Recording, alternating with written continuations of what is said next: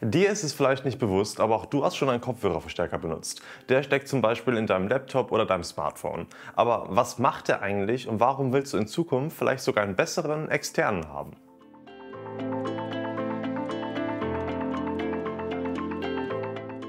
Hi, hier ist Joshua von HiFi.de und in diesem Video erkläre ich euch, wie so ein Kopfhörerverstärker funktioniert und warum es manchmal Sinn macht, sich sogar noch einen externen zuzulegen.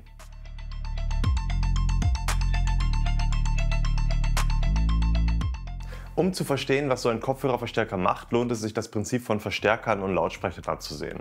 Der Verstärker bekommt ein äußerst schwaches Signal von der Quelle und verstärkt dieses und somit versorgt er die Lautsprecher mit Strom. Dieser fließt in die Metallspulen hinter den Treibern und erzeugt um die Spulen ein Magnetfeld. Je nach Intensität und Fließrichtung des Stroms bewegen sich die Spulen dann vom Magnetfeld weg oder auf es zu. Die Membran wird dadurch in Schwingung versetzt und erzeugt so Schall. Die meisten Kopfhörer funktionieren nach demselben Prinzip und so ein Kopfhörerverstärker hat also so gesehen den gleichen Job wie sein großer Bruder. Lautsprecher benötigen natürlich deutlich mehr Power als Kopfhörer. Deswegen genügen für deine Kopfhörer kleinere Amps, die dafür besonders detailliert arbeiten. Da verwundert es aber auch kaum, dass die günstige Klinkenbuchse deines Laptops deine Kopfhörer zwar mit Strom versorgen kann, aber halt nicht in der besten Qualität.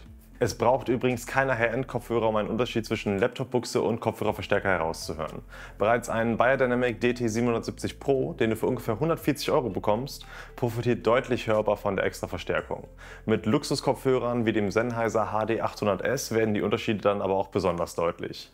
Teilweise bist du aber auch auf einen speziellen Kopfhörerverstärker angewiesen. HiFi-Kopfhörer mit planar-magnetostatischen Treibern brauchen so viel Leistung, dass die Verstärker in Laptop und Co. einfach nicht ausreichen.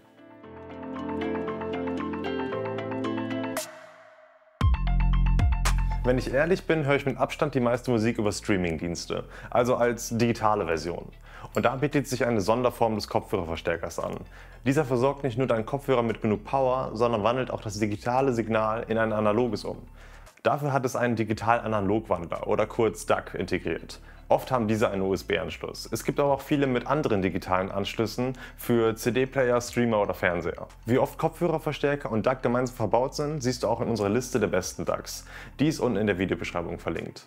Dabei braucht die Kombi aber auch gar nicht unbedingt so viel Platz. In so kleinen kabellosen In-Ears sind ja auch schon beide verbaut. Der AudioQuest Dragonfly Cobalt vereint auch beides und ist einfach so groß wie ein USB-Stick. Viel einfacher kannst du den Sound deines Laptops nicht verbessern. Der Cord Mojo 2 ist etwas größer, aber hat auch einen eigenen Akku und bietet sich damit besonders für unterwegs an. Es gibt natürlich aber auch andere Kombinationen. Der Cambridge Audio Alva Duo funktioniert zum Beispiel auch als Vorverstärker für deinen Plattenspieler mit Kopfhörerbuchse. Natürlich haben die meisten HiFi-Verstärker auch so eine Kopfhörerbuchse, externe Lösungen sind aber meistens doch besser.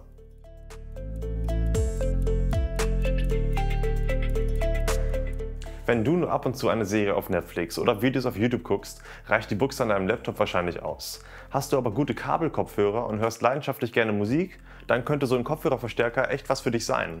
Kopfhörerverstärker wie den iFi Audio Zen DUC V2 bekommst du teilweise schon für unter 200 Euro und die passen auch auf jeden Schreibtisch. Wenn du also mal wesentlich mehr Geld in Kopfhörer investiert hast, solltest du dir bewusst sein, dass du sie deutlich unter ihren Möglichkeiten nutzt. Du wirst dich dann wahrscheinlich wundern, was da noch alles rauszuholen ist. Ich nutze unterwegs eigentlich nur Bluetooth-Kopfhörer. Damit die einen besseren Klang haben, brauchen sie die richtigen Codecs. Und was es damit auf sich hat, erkläre ich übrigens in diesem Video. Ich hoffe, ich konnte euch hiermit etwas weiterhelfen. Bis bald.